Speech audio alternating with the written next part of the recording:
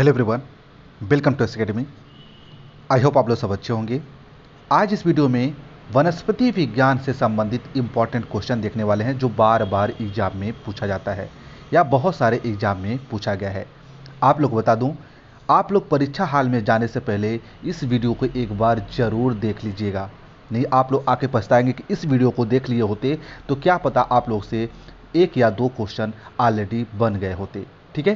तो चलिए बिना देर के वीडियो को शुरू करते हैं। उससे पहले आप लोग चैनल पर पहली बार विज़िट किए हैं तो चैनल को ज़रूर सब्सक्राइब कर लीजिए, क्योंकि जो भी लेटेस्ट आप लोग के एग्ज़ाम से रिलेटेड अपडेट आएगी या न्यूज़ आएगी तो आप लोग को अपडेट कर दी जाएगी।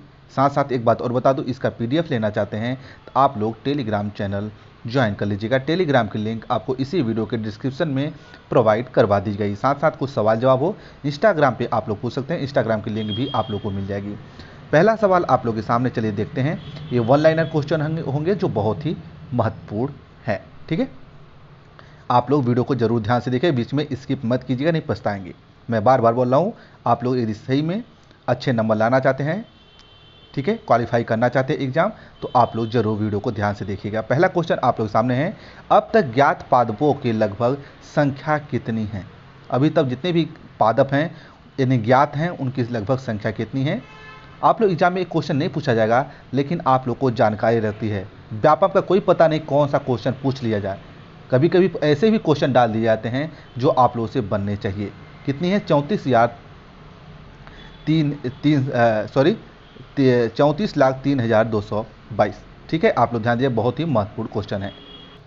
सॉरी बाय मिस्टेक इसमें गड़बड़ी हुई इसमें राइट आंसर होगा, तीन लाख तिरालीस हज़ार दो सौ पच्चीस। ठीक है? आप लोग ध्यान दीजिए, तीन लाख तिरालीस हज़ार दो सौ पच्चीस आप लोग का राइट आंसर हो जाएगा। ठीक है? आप लोग ध्यान दीजिएगा, बहुत ही महत्वपूर्ण सवाल हो जाएगा। अगला सवाल जो बहुत ही महत्वपूर्ण है, अवपंक क्या है? अवपंक फफूदी को पाँच जगत पद्धति वर्गीकरण किसने, जगत ने में रखते हैं? किस जगत में रखते हैं? प्रोटेस्टा जगत में रखा जाता है। अपोंग फफूदी जो होता है, ये पाँच जगत में जो वर्गीकरण किया गया है, किस जगत में रखा रखा जाता है, पूछा गया है। आप लोग यहाँ प्रोटेस्टा जगत में रखा जाता है। अगला सवाल है, आधुनिक भारतीय सैवाल विज्ञान के पिता कौन है? आधुनिक भारतीय सैवाल विज्ञान के पिता, यानी फादर ऑफ़ सैवाल किसे कहा जाता है? Professor M O P Iyengar को जो है सैवाल का पिता कहा जाता है, ठीक है? अगला सवाल है, एक कोशिकी तथा आवरण विहीन जनन अंग के प्रमुख लक्षण क्या होते हैं? ये होते हैं थैलोफाइटा। क्या होते हैं? थैलोफाइटा। आप लोग ध्यान दीजिएगा थोड़ा सा। अगला सवाल है, एक कोशी यूरोक्रियोटिक। कौन? यूरोक्रियोटिक और प्रकाश संश्लेषण को किस जगत में रखते हैं? प्रोटिस्टा जगत में रखा था, आप लोग इसको भी ध्यान रखिएगा। ठीक है? अगला सवाल है, एग्रो एस्ट्रोलॉजी में अध्ययन किसके लिए किया जाता है? यानी एग्रो एस्ट्रोलॉजी में अध्ययन किया जाता है घासों के लिए। क्या घासों के अध्ययन को एस्ट्रोलॉजी यानी एग्रो एस्ट्रोलॉजी कहा जाता है? आप लोग ध्यान दीजिएगा। अगला सवाल है, औषधि प्रदान करने वाले पौधे को अध्ययन को क्या कहते हैं? यानी जिसमें तो आप लोग ध्यान दीजिएगा, औषधि प्रदान करने वाले पौधे के अध्ययन को भेषज विज्ञान कहा जाता है। ठीक है, अगला सवाल है, किस समूह के पौधे में निषेचन के लिए जल आवश्यकता होती है? ये ब्रायोफाइटा के लिए, किसके लिए? ब्रायोफाइट्स के लिए। ठीक है? अगला सवाल है किसमें भारत में हरित क्रांति के जनक के लिए पद्म विभूषण पुरस्कार से सम्मानित किया गया? यानी, फादर ऑफ़ हरित क्रांति। ठीक है? डॉक्टर एम स्वामीनाथन को हरित क्रांति का जनक कहा जाता है। आप लोग याद रखना है वेरी वेरी इंपॉर्टेंट क्वेश्चन है। ये बहुत बार पूछा जा चुका है। अगला सवाल है केंद्रक के आधार पर किसमें तुलना की गई? किसके आधार पर की गई है? प्रो प्रोक्रियोटिक और यू यूक्रियोटिक के आधार पर केंद्र की तुलना की गई है। ठीक है? अगला सवाल है, कोशिका भित्ति का अभाव किसमें होता है? कोशिका भित्ति का अभाव जो है अधिकांशतः प्रोटिस्टा में होता है। किसमें? प्रोटिस्टा में। अगला सवाल कौन सा गुण पादपों में नहीं पाया जाता है? उत्सर्जित तंत्र का जो गुण है, पादपों पे नहीं पाया जाता है। वीडियो थोड़ा सा लंबी हो सकती है, लेकिन आप लोग मैनेज ज़रूर कीजिएगा। अगला सवाल है, और बहुत ही महत्वपूर्ण क्वेश्चन है कौन सा प्रियोक्रियोटिक होता है? ये शारीरिक जीवाणु जो होते हैं, ये प्रोक्रियोटिक होते हैं। क्रिप्टोगेम्स में क्या रखे गए हैं? थैलोफाइटा, ब्रायोफाइटा और टेरिटोफाइटा ग्रुप जो हैं, ये क्रिप्टोगेम्स में रखे गए हैं, ठीक है? अगला सवाल है, गुणसूत्रों की संख्या के आधार पर पौधों का वर्गीकरण किसके अंतर्गत करते हैं? कोशिकी वर्ग की के अंतर्गत जो है, विज्ञान के अंतर्गत गुणसूत्रों की संख्या का वर्गीकरण किया जाता है। अगला सवाल है, छह जगत पदीप पादिप में मोनेरा जगत को किन दो भागों में विभाजित किया जाता है? यूबेक यूबेक्टीरिया और आर्किबी जो है आर्बिके बैक्टीरिया जो होता है, इसके अंदर जो है, मोनेरा ग्रुप को दो भागों में विभाजित किया गया आप लोग को ध्यान रखना है। अगला सवाल है, जीव विज्ञान शब्द का प्रयोग सबसे पहले किसने किया था? लेमार्क और टेवेरियस के द्वारा सर्व सर्वप्रथम जो है, जीव विज्ञान शब्द का प्रयोग किया गया था।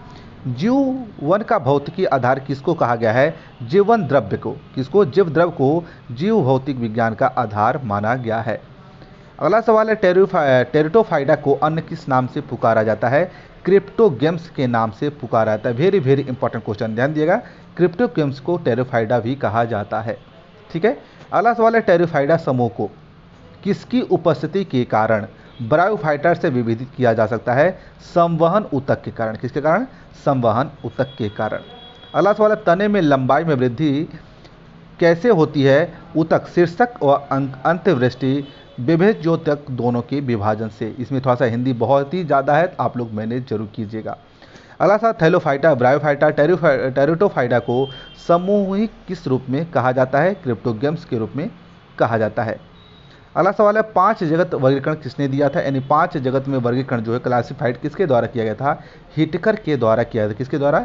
हिटकर के द्वारा किया गया था। अगला सवाल है, पाँच जगत वर्गीकरण में, पाँच जगत वर्गीकरण में नीलोहरी सैवाल जीवाणु तथा अर्की अर्की बैक्टीरिया, इन तीनों को किस जगत में रखा गया है? यह मोनेरा ग्रुप में रखा गया है, ठीक है? अगला सवाल है, पादप और जंतु में मुख्य अंतर क्या होते हैं? पोषण का। पादप और जंतु का मुख्य अंतर क्या होता है? पोषण का मुख्य अंतर होता है। पादप किसके लक्षण के कारण जंतुओं से समानता रखते हैं? दोनों दिन रात श्वसन करते हैं। यही एक मुख्य लक्षण है जो समानता समान लक्षण रखते हैं पादप, ठीक है? अगला सवाल है, पादप कोशिका के किस अनुपस्थिति के कारण जंतु कोशिका से भिन्न होते हैं? सेट्रोसोम और तारक काय की कांड जो है, ये दोनों अलग होते हैं, ठीक है? अगला क्वेश्चन, पादप तथा जंतु कोशिकाओं के प्रमुख अंतर क्या होता है? पादप कोशिका में द रीढ़ कोशिका भित्ति होती है, ठीक है? आप लोग ध्यान दीजिएगा।